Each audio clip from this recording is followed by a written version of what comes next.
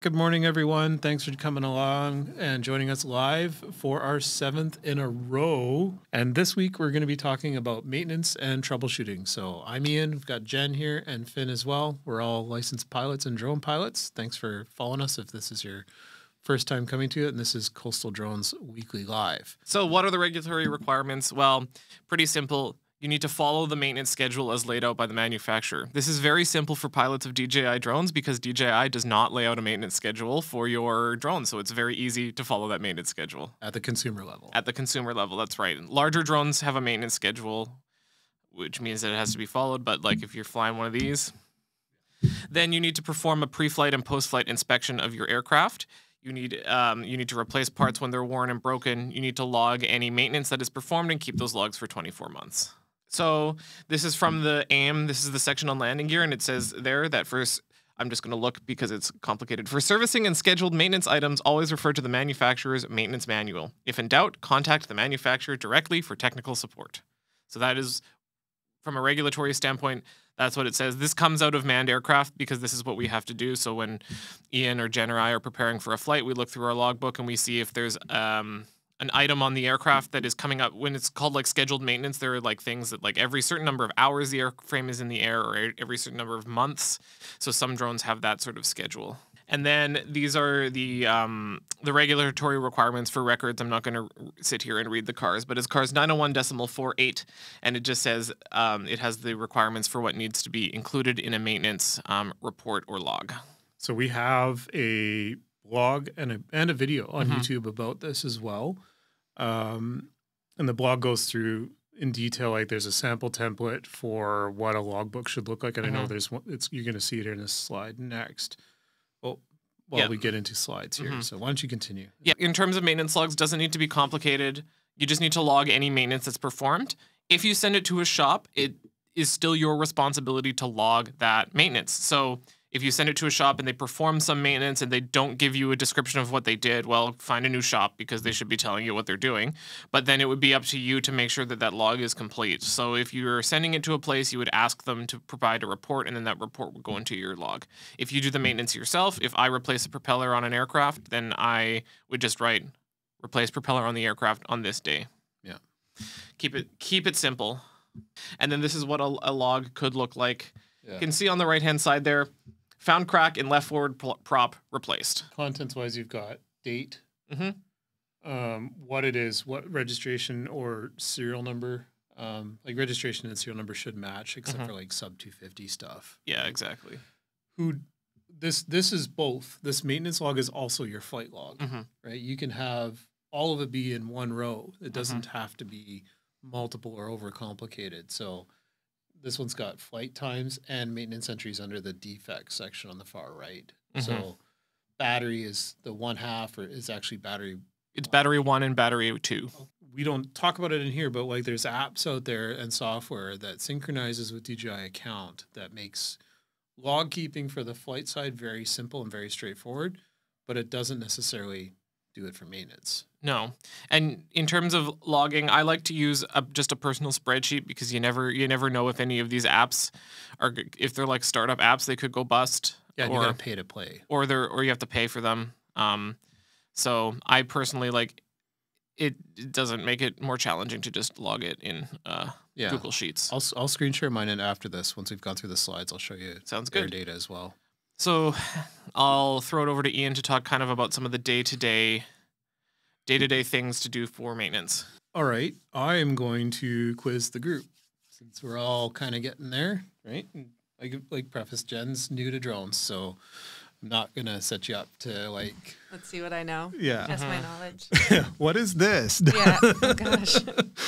Um, I called that the big drone earlier. So. So it's basically like like when you do a DI, a daily inspection of any aircraft. Um, what are things you're going to be looking for in general? like like yeah defects in the outer body um, anything that's loose that normally isn't loose you want to be touching things when i walk around the helicopter your hands are just touching everything right um, then you kind of start to get used to what moves what doesn't move um, yeah i think those those would be my first starting point on my drone for sure Yeah, that's that's exactly it, right? So on the this is a Phantom 4 uh, I don't even think it's an advanced. I think it's a standard. I, no, it's a pro.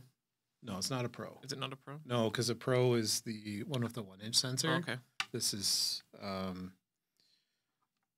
this is an advanced uh, because it has the vision forward system. Um, so it's like the last of the Mohicans, basically, in terms of phantoms these days. Because I think this is the oldest one now that has a safety assurance declaration, like we talked about last week. So all the Phantom threes are Gonzo. Anyway, um, when you're doing like a daily inspection or a pre-flight for any of these, of course, like airframe, right? So like you said, no no structural defects. So any cracks in the arms, right? That could because like these things like they have a harmonic vibration to them. Any small cracks can get worse. So that's always important. Landing gear, same thing. It's it cracked or free of cracks. Um, shmoo on the sensors. So like dirt or dust or moisture or anything on that. So like each one of these is a little camera, and any kind of moisture that like even if it's dried, um, if there's like a big fingerprint or smudge, these ones are harder to get in. Like they've got little kind of protector rings, but like the bigger stuff like the the Matrice and the Mavic, if you get a big ass fingerprint on it, it's gonna ruin the vision system and it's gonna have a hard time seeing obstacles, or it might act weird. Um, and that's where like you could run into a flyaway or a crash. Um, what else on the airframe? Stuff. Not on this model of aircraft, but on some of the Mavics and the uh, the Minis as well. If you look in the arms, there are wires running through the arms. I mean, wires run through the arms on this one, but on the Yeah. Mini in particular, the wires are in braided cables, but the cables are exposed. That's right. So you want to make you want to check those cables to make sure that they're not frayed. Uh, motor bells. You can give them a little spin.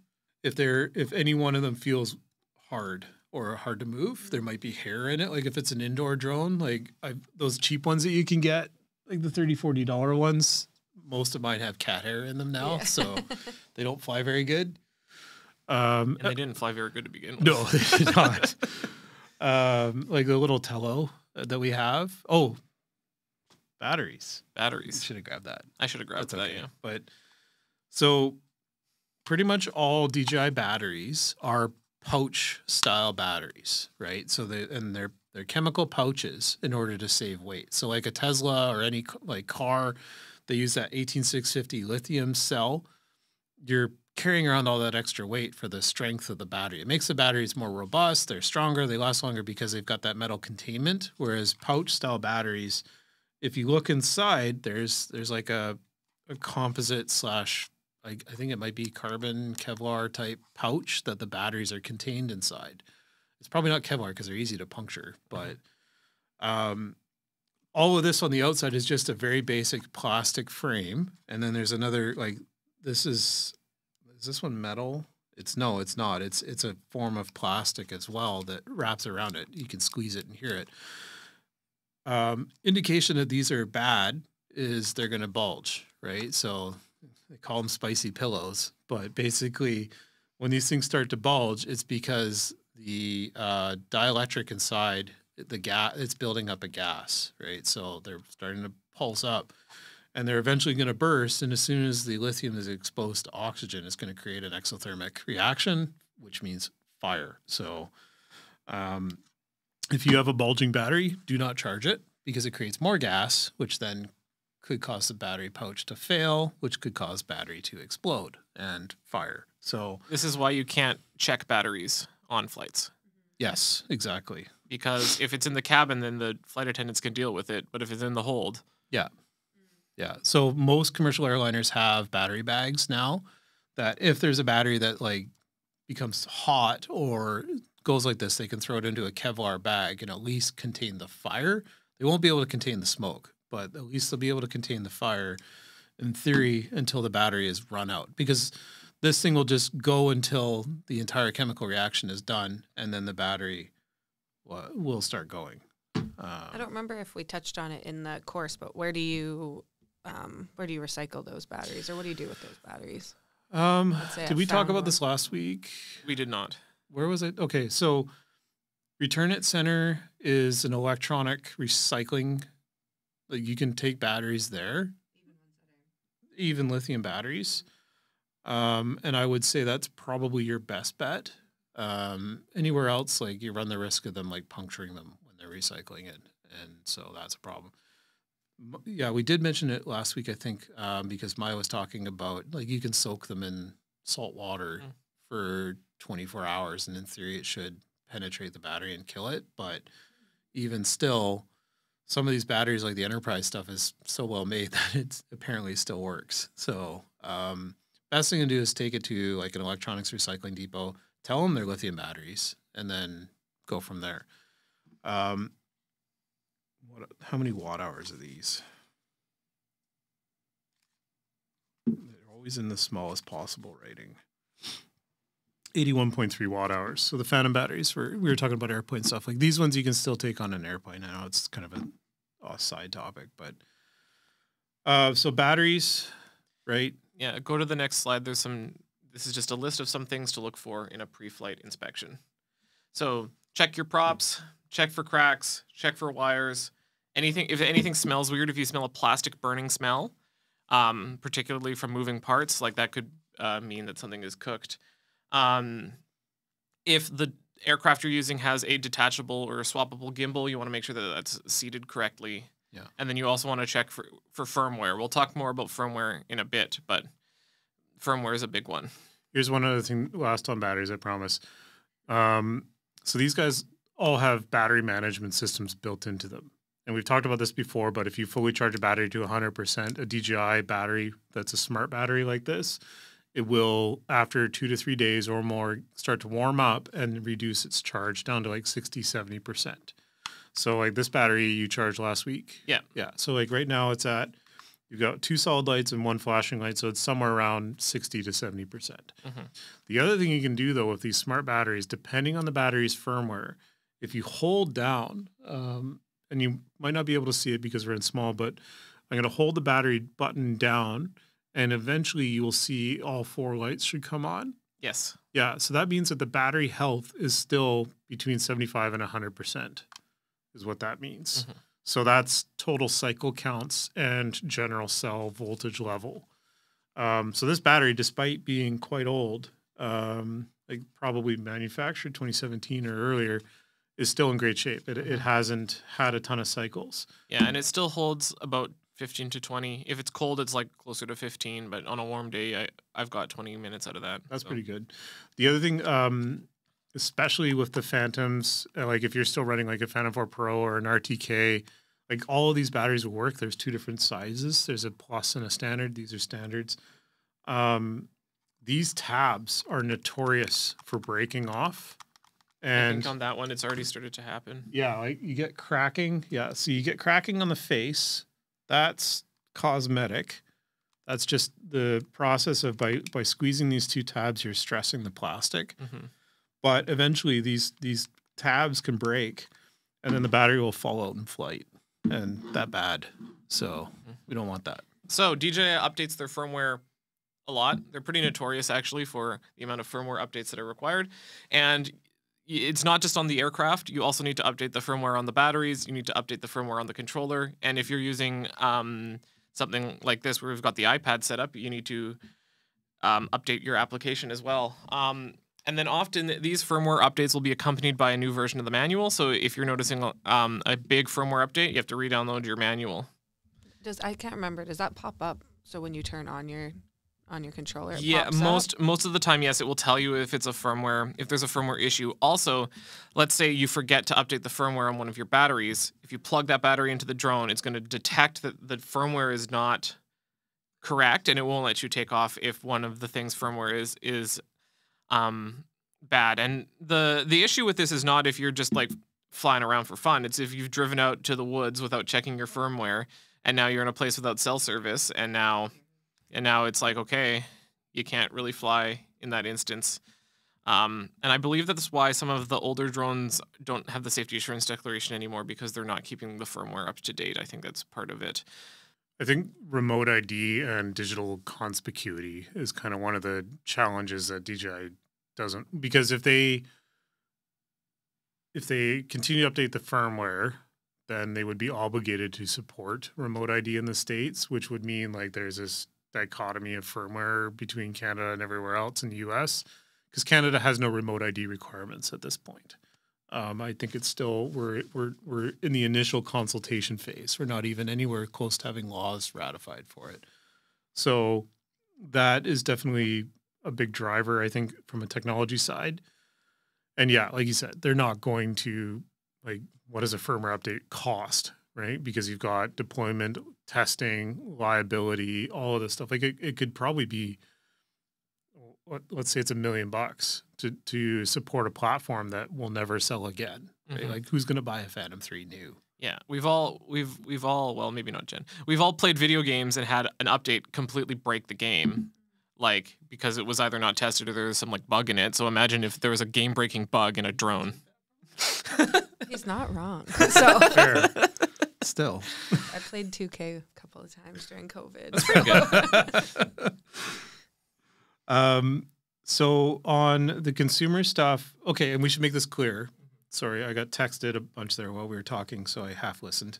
But um, firmware updates are legally mandatory in Canada, right? So this is part of your maintenance schedule. Really, the only maintenance schedule you have, and it's in the manual, is you need to keep the firmware up to date uh, to be in compliance with the manual. So that's CARS 90131, which is thou shalt follow the manual's instructions. Um, so if you get a firmware update pushed, you have to do it, or else the aircraft is no longer airworthy. Right, your declaration's toast.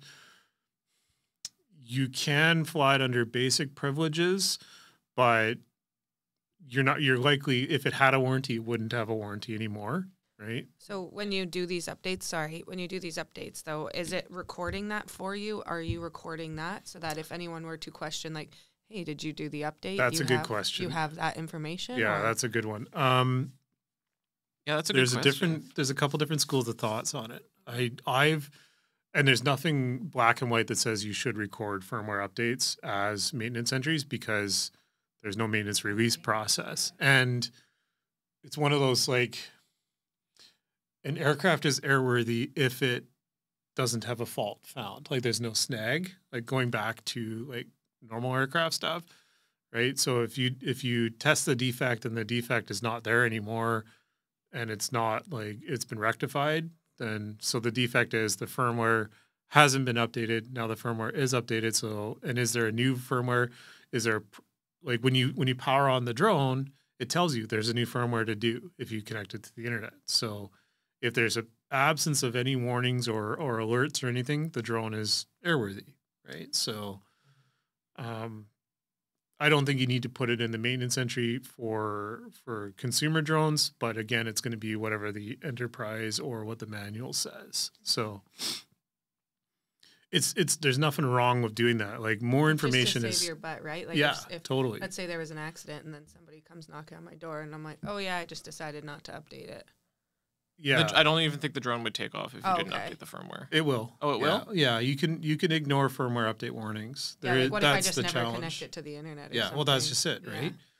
If you're up in the middle of nowhere and and you do nothing for years at a time, like, and, and there are people out there that are that are like actively on the internet, like on Facebook, saying, "Well, I'm just not going to update my firmware," mm-hmm. and and then eventually, like, like, and there is frustrations. Like the Avata, the FPV drone, um, the new remote ID firmware made it very difficult to fly without a, a phone being tethered to it all the time. Well, I look at it like Apple, right? Like how many times have you gotten an Apple update and you're like, wow, I missed the Zero, old zero times in my Oh life my have I got an gosh, Apple an Apple update. Get out of here. but you know, you get an update and then you're you're like, oh, I kind of missed the old version, or I liked what they did before, but you, you got forced into it, or or you can sometimes put it off. But Yeah.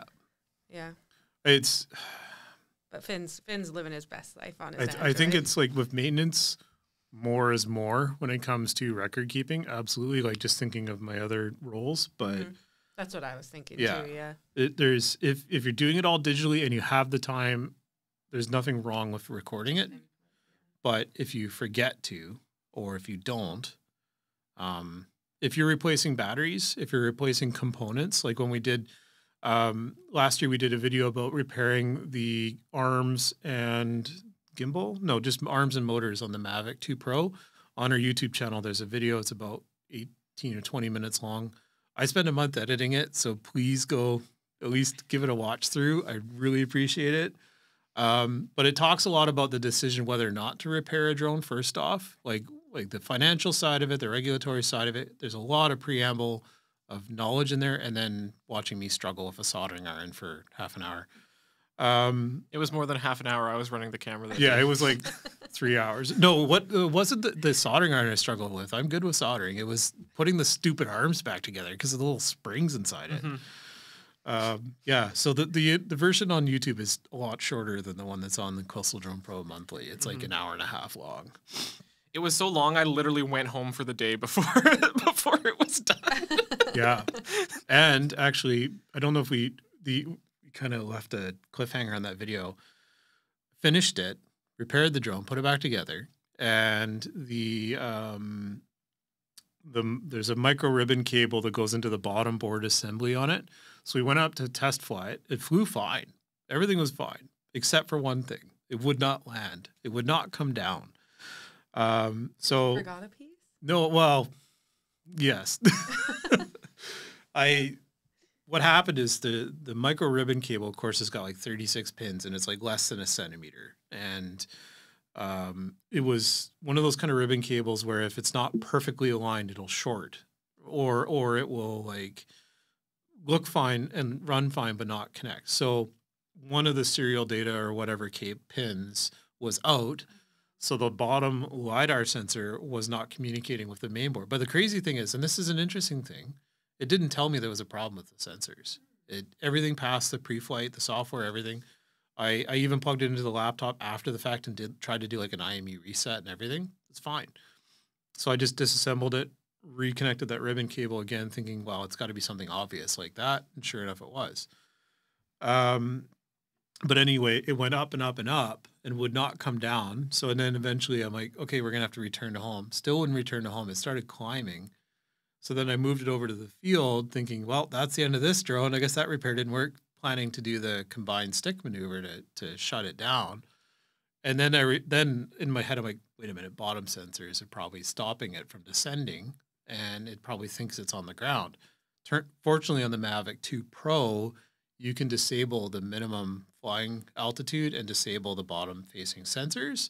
As soon as I did that, it immediately started coming back and it landed. So problem solved. So that's the end of that cliffhanger on the video. Spoiler alert. All right, yeah. And then you need to do a post flight after so you can check the drone for damage and then others if you're if it's like the winter time and there's been fog sighted, you want to make sure that you check for moisture. You don't want to pack a drone while it's still wet. Yes.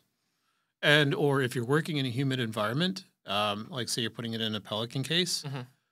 if you put it in the pelican case and close the pelican case outside, do not open that pelican case inside because you'll immediately fill it with condensation. Mm-hmm. right? And then you won't be able to use it inside. So, like I've done lots of like camera stuff in the Philippines. If we shot outside, we had an outside camera because as soon as we brought it inside, you'd have moisture problems. So, Mhm. If for any reason you've seen an accumulation of moisture or any other contaminants on the aircraft, if it's moisture, just wrap it in a towel um, before packing it in your case. throw some desiccants in the case. Yeah. well, If it's um, when we talk about contamination in the aircraft world, contamination doesn't just mean like dirt or stuff; can also mean ice. Yeah. Um, you want to make sure that there is no ice or snow accumulated on the aircraft either. If it's anything water based, wrap it in a towel. And then batteries. So this is just a batteries best practice. It's a good practice to label your batteries, uh, and then write down which batteries have been used. These ones, the numbers on them are like really long for some reason. Um, but basically these batteries have a limit has have a number of cycles i think we talked about this we touched on this last week each battery has a number of cycles before it won't hold a charge anymore and if let's say you had you bought a drone with three batteries like a Fly More kit and you only ever used one of them and then just charged it up every single time after like a year of flying that you're going to have one completely smoked battery and two that you haven't used Yeah. it's it's it's a best practice to to balance. to balance it. Um, so then, yeah, and then when you're when it comes time when they've all hit the number of cycles, then you just get a new set. Yeah. Yeah, I think like 200 is probably a fair magic number for these to like start thinking about because it's not like like I've I've got Canon camera batteries that have probably got like a thousand cycles on them at least, and I wouldn't think twice of throwing them in if they work, they work. but this is a drone. It it will fall out of the sky if it decides it's not going to work. So be a little bit more realistic about your your battery health. And we did talk last week about cell voltage checks. Mhm. So when you're flying, like these are 4S. Yeah, these are most drones are like 4S, like commercial drones or or consumer rather, which means 16 volts, which means each cell should be somewhere around 4 volts. If you see one cell that is like 2 volts and the rest are are up, that means you've got a dead cell. Do not use that battery because it's going to be trying to balance itself back into that and it's going to cause problems and it might overcharge that cell because it can't take that voltage and then it's going to either die or go boom. So AirData is a there's a free tier and then there's multiple paid tier versions of this. Um, it is a drone logbook service that synchronizes with uh, your DJI account, and I think it does support a few other accounts. So this is the dashboard for AirData, and I'm running the pro subscription um, mainly because I wanted to be able to export my logs. The the lower tiers you can't export your logs down to like spreadsheets and stuff, so you kind of have to go back into this. But you can see the last time I synchronized this oh, apparently was September. So I've got some flights on the RC that haven't been synchronized, I think. But um, what happens is it uses your DJI.com account of um, so we use just my personal DJI account on the controller this one's not hooked up to anything, so it doesn't automatically sync. So you'd have to manually do it. But every log or every flight that you do will show up, and you'll see like there's general stats here. Um, you, this plan you can have up to seven or three three thousand flights stored in it. Total airtime, total distance traveled, photos, videos. Um, apparently, one of our flights, the battery, the hottest the battery was was 66 degrees, and if you click on it, it will go to that flight and show you what aircraft it was. Um, this was the Avata, of course, that makes sense. Those batteries get hot. Um, but like probably flying in manual mode is where this came from, right? So you're working the battery pretty hard. You're probably seeing how how fast it can go. Yeah, I think so. But you can see cell health. Um, you can see a graph of the cells during the flight. Like there's some, and the, the crazy thing is there's no extra software that I've installed to do this. This is all information that is coming from DJI. This is how much information DJI has logged about your flight and about your software. So you can you can see here this voltage sag. That's probably like a huge punch of power that I applied to the drone, and and then like big movements because you've got the general graph of your your cell voltage, and then the and then you can see a potential imbalance here um, for that. So the deviation shows up here, and then the percentage of remaining battery. So, and this is another thing like overall voltage this sag that's that's a huge demand of power being applied to the drone so same with the phantom if you like put it into sport mode and go full acceleration up or sideways even if you started at 90% if you were to hold that it would drop down to like 70% and then potentially recover back up because you've got that voltage sag. And the, your batteries will sag more which is like that sudden drop in voltage when it's cold or when the batteries are not in good health. So um, if you have batteries that are not in great health, but they show as healthy or, or as appropriate voltage level, if they sag too much, the drone might fall out of the sky as well because the IMU will shut down and it's like, I have no power to run anything. So you can manage your equipment in here. You can see all batteries that have ever been flown under your account will show up and you can see what their general health is. So, like, oh, there's even some Matrice batteries in here. Rest in pieces. Uh, our Matrice was stolen. But you can see that this battery was last flown 2021. Um, and same thing, I could see like flight history for that battery. This battery is only flown once on the account, what the temperature, everything. So I can go in and see like what's the general health of my batteries. Um, and then the logs, just in general, like what's this one, September? You can see uh, this is power. I can see sensors. I can see where it was flown. Um, I don't even know. This was a Mini 3 Pro, and it flew for 11 seconds. A very short flight. It was 49 seconds. These look like they were indoor flights. I don't even know. Oh, that would have been when you went up went up the island to do the in person training. Yeah, these were indoor flights. They were They were just quick training flights. That's why they're very short. Mm-hmm. Like how to turn it on, how to set it up. We were we were demoing for training. But yeah, so that's interesting. It got a GPS lock even indoors there. So so yeah, AirData um pricing is pretty good. I honestly don't remember and I don't want to bring it up on stream just because it's probably got my billing info in it, but uh um less than a couple hundred bucks a year for sure. So if you're running a business on the pro plan, it's definitely going to be an option. Um, what's the other one? Drone Logbook is another one, um, which is Fly Safe in Canada. They're they also have one, and they have a free tier and then a paid tier as well. So there's a few different options out there that you can kind of check out. All right, you got this thing up and running.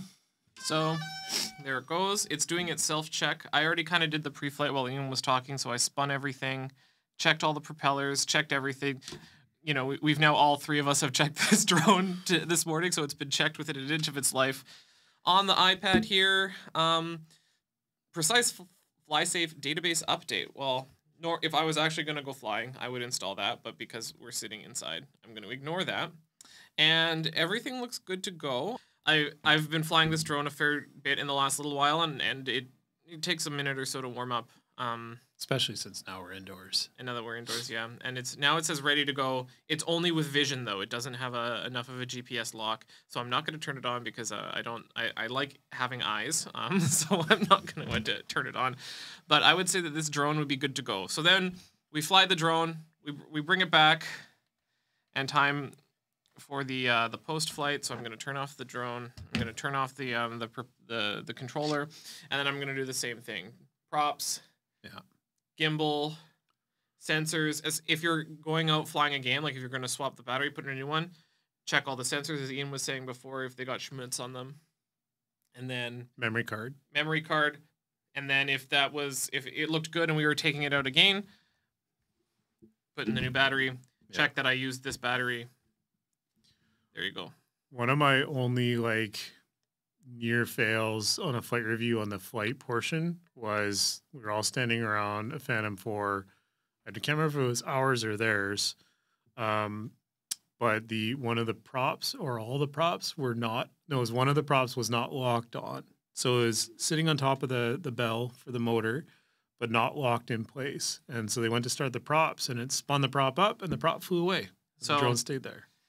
You can put it on like this, and it'll just stay there. Yeah. You have to push and twist, and now it's locked in. Yeah. Now it's not going to come up. And of course, you're making sure that it's the right color or indication or, or rotational direction. hmm So uh, these ones have black, and then there's black dots on the Yeah.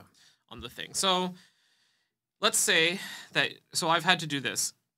If there you do have a maintenance problem, if something breaks, I was doing in-person training for someone one time and there there was a crack in the prop on their Mini 3, so we had to swap the props and the Mini 3 you ha- you need a screwdriver to do it, Which is risky. which is risky, but in the instructions it has a diagram of how to do it. Sorry, and I should hold you there. The reason it's risky, the the little screws that are holding Mini three and Mini four props in, they're they're locked in with thread locker, so like Loctite blue or whatever. Um, and the screw and the screwdriver is very cheap metal. It's very soft. So if you let it skip or hop or anything at all, it's very easy to strip those screws out. So that's mm-hmm. why it's risky. You got to be very careful. Yes. But we had to you have to follow the instructions as they're written in the thing. Of course, obviously when you're swapping a propeller, you don't want them to be on the wrong way cuz then it then it's not going to fly properly. But you have to follow the manufacturer's recommendations for any maintenance or any installation of anything. So DJI's instructions are often quite simple. If you're installing the prop guards on a on a Mini 3, you have to follow that diagram or else that aircraft is no longer airworthy Yeah. um, because you haven't followed it. So even though that these are very simple procedures, they still need to be followed. And if you were to install those prop guards improperly or install the propeller improperly, you're not following what the manufacturer said, and that aircraft is no longer airworthy. Other thing for maintenance, part of your pre-flight, if you are doing any kind of sandy or dirty operations, the gimbals in these things are very sensitive to contaminants. Um, I've had was it a mini one or mini two? I got in the habit basically of not landing on unprotected ground. So either use a landing pad, which is a great idea, especially a weighted one. Like get one that's got that cable around the ring outside. Um, Hoodman, I think, makes them. Or you can get like an eight by ten folding sheet that folds out into a landing pad, and they're they've got some grain or metal or shot in them that makes them heavy. Or just get used to hand launching and hand catching the drone. There are safe ways to do it. It's not always safe to do it, but there it is. It can be done safely, right, with respect to the drone. Um, just do not land on dirt because it creates a, like it's got an updraft through the props, so it's going to suck up anything underneath. It's going to get sucked into the gimbal, and you'll start seeing either the gimbal will drift or it'll get notchy, or you might get an error that says gimbal motor overloaded. Is another one. Um, so I definitely got that like flying up at Harrison in the sand there. I I learned my lesson.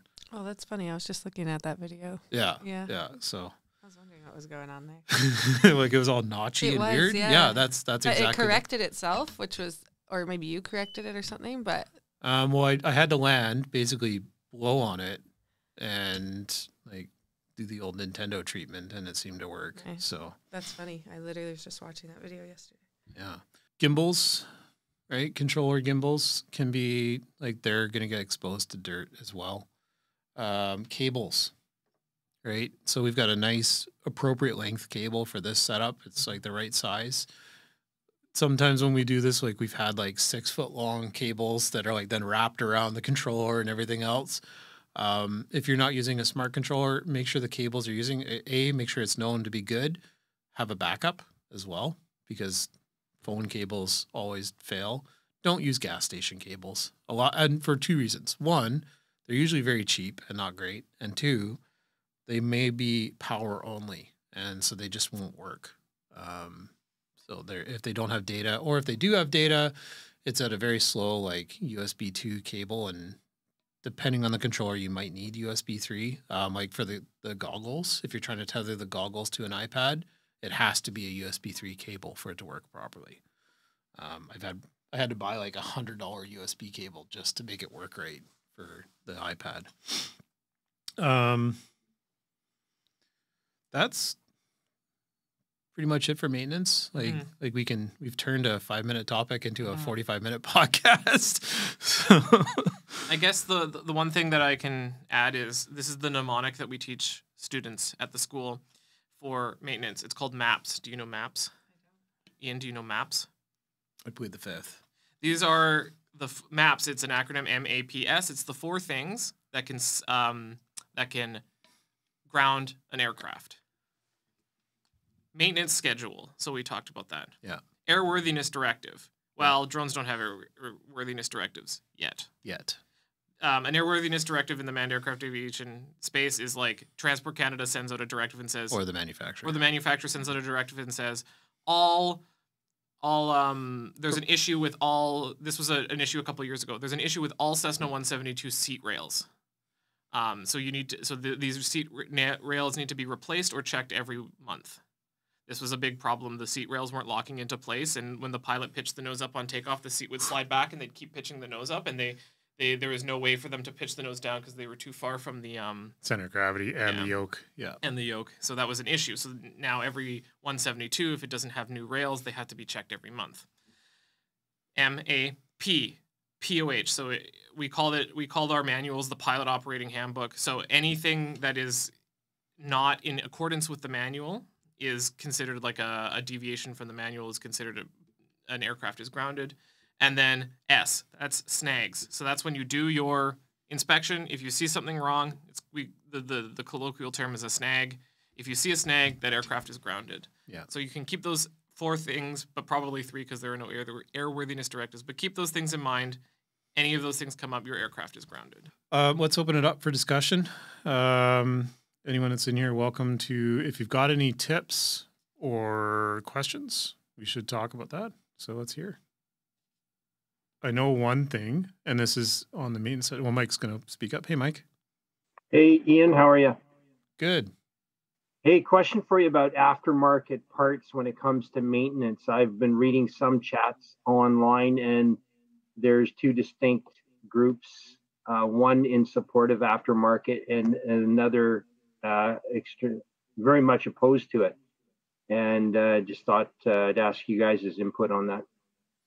Okay, so are we talking aftermarket parts that directly replace the original parts or add capability to the drone? Replacing the original parts. So Okay. everything from uh, prop damage to casing, whatever the case might be. It's a good question. So DJI has in the manual, uh, in some manuals, I have read this that, for example, props. There are there are instructions that you should not use anything but DJI original props um, because there's been a third party industry that's come apart, uh, come a, as a result of this. Um, I have I have them on the Avata, the orange props. I can't remember the name of the company, but there are third party prop manufacturers that claim to have better performance or quieter designs, or they've iterated on the original design. Um, as soon as you ignore the manual, like I said, you're you're ignoring the safety assurance declaration, so the drone is no longer able to to do what it was set out to be able to do from factory. Um, if you're replacing components, again, it's kind of it comes back to what does the manufacturer say in the manual. If it's a DIY drone that you've built from scratch, like using components, then it, it wouldn't matter because it's you're the manufacturer of the drone, so it comes down to you to ensure compatibility and config and firmware and everything else.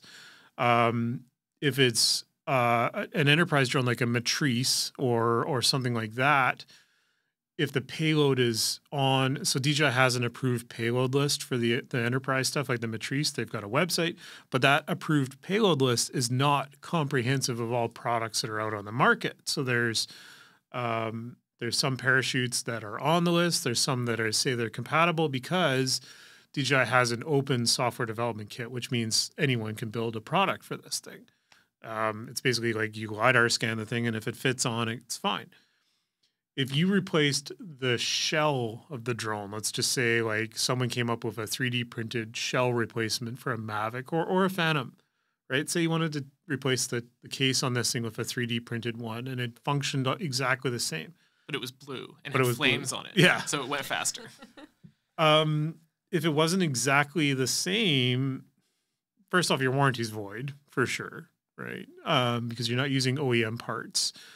But then it's this is a really good question because like in the in, I I'm really familiar with the automotive world. Like I've modded a lot of cars, and there's something in the states called the Magnuson Moss Warranty Act that if you modify something, the downstream effects can be uh, excluded from your warranty coverage, but any parallel effects. So what I mean is like if you change the wheels and tires on your car and then your exhaust fails, well, they're they're unrelated. But if you change your exhaust and then your um, fuel mixture is a problem as a result of that because it's not calibrated properly. Yeah, there's probably some downstream effects of that. So then there's going to be some debate and you're going to have a fight on your hands with the original manufacturer. So if you change the airframe on this thing, like let's say you change the body shell, and this is the body shell is structural to the drone, it holds the props and everything. But it, let's say it's printed out of PLA and and or some sort of semi-flexible printed material. Now the drone's flopping through the air, and eventually it cracks and falls apart, and the drone falls out of the sky. Well, that's on you, right? Because you used something that's completely changed the way the drone acts. So it, it's a tough one to. I don't think that there's a like again CARs 90131. You you must follow the manual. If the manual says you can't do something, you can't do it, or else you need to build a new owner's manual for the drone because now you're the manufacturer. Um, third party gimbals, for example, like there are there's DJI's got the ZenMuse gimbals for the Matrice, but then there's like ZenMuse clones out there that are functionally the same, but they run through the SDK and they have either better sensors or just more affordable options. Same thing, like those are payloads, so the drone doesn't really care as long as it's compatible, and I think those are fine. Um, but if it was a Phantom or a Mavic that's not designed to change out the sensor, uh, let, let's say we wanted to put a Phantom 4 Pro V2 camera on a Phantom 4 Advanced, you could probably rig it to work, but it's no longer either of those drones. So then, you again, you're the manufacturer. So it's a really good question. Uh, what would we? Yeah, that's a good question, Mike.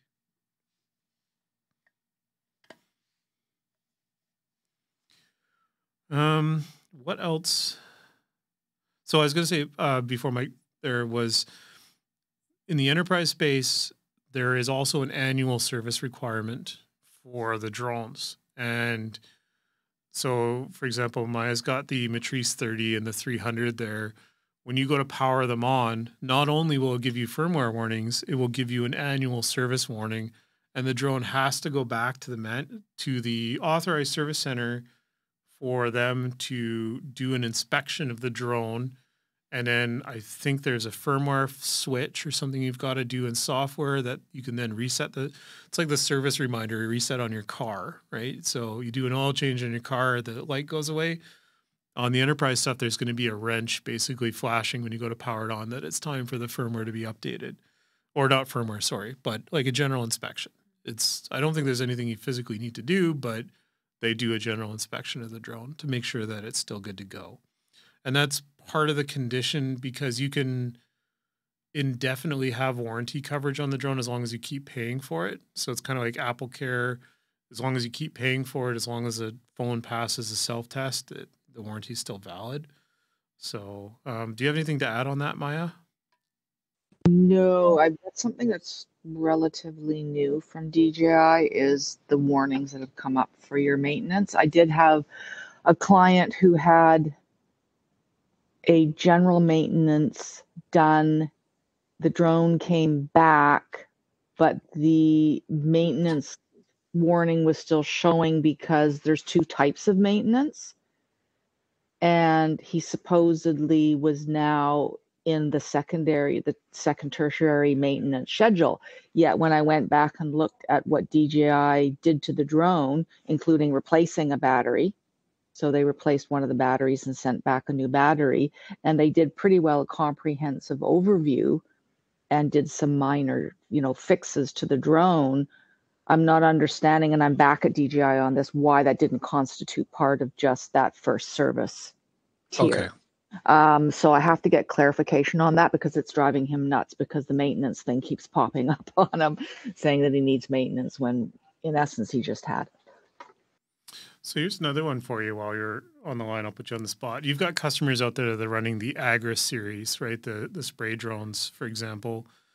Um, and they're in like a pretty harsh environment because you're dealing with chemicals and like some of them one of them out there I think is running like it's kind of like a paint, but it's a calcium thing. So those those like leave a lot of residue. Like how do you deal with that? And those like is there a, a is there a schedule to that or is it just like when you're done you got to clean it and then it's good um that's generally the care and maintenance because again the type of drone that it is um, is to make sure that after each use or application that you know you're done for the day is to make sure that the drone is washed down um, you know everything's cleaned up properly because that's potentially going to eat into some of the components, dampers, you know, things like that that may get changed out more frequently due to wear and tear anyway. It's a slightly different maintenance. We're responsible for having uh, being able to maintain the drones for the right. client because they are a little bit different than the general consumer or the enterprise side. Um, so there is a certain amount of responsibility on the client, as you would with any farming equipment, to make sure that your equipment's kept clean um, and there is a warranty level, but again, it's tiered into the specific types of parts um, okay. on where. So, like if centrifugal motors or pumps go within a certain period of time, they would be considered under warranty. Um, but after that, um, just the overall use and wear and tear on them, they would just need to be replaced out at the client's expense. Okay, and is there like my my brain wanders? Is, I was thinking like if you had Let's say you had a drone at a major music festival spraying Kool Aid over everyone. Would that be under warranty? Boy, that'd be quite the SFOC for that. Um, yeah, you want to do what? yeah, right. Um, again, the, well, okay, Kool Aid's pretty sticky. Yeah, it's lots of glucose in it, right? You probably would have to really make sure your lines are flushed really well. Um, but I'm sure there's probably some pesticides and things out there that have a sticky nature to them as well. So, For you know, sure. again, it's just making sure that you're keeping the drone exterior clean and then again your tank and your lines flushed really well before your next use. Cool. In fact, there are some um, pesticides where you actually cannot use the tank. Um, you actually would have to use a secondary tank depending on what it is you're using. Oh, like it's a permanent. Like you can't use that tank again for anything else. Okay, that's good to know. All right. Um, well, we're coming up on time. Does anyone else have any last thoughts or questions that they wanted to add?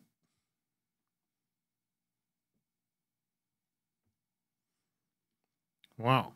Thank you very much for joining us. Oh, go ahead, Maya. Sorry, I did have one back to the original maintenance in your pre-flight.